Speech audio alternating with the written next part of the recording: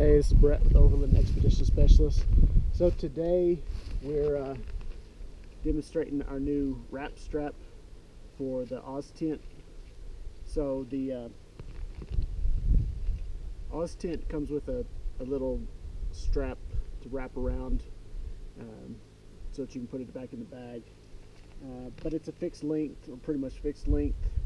We've gone ahead and we've upgraded to a mil spec Cordura webbing, ITW Nexus buckles, uh, Gutermann Terra 40 thread, and we've gone ahead and sewn a hand loop in the end so you can actually cinch it tight. So you've got a little excess here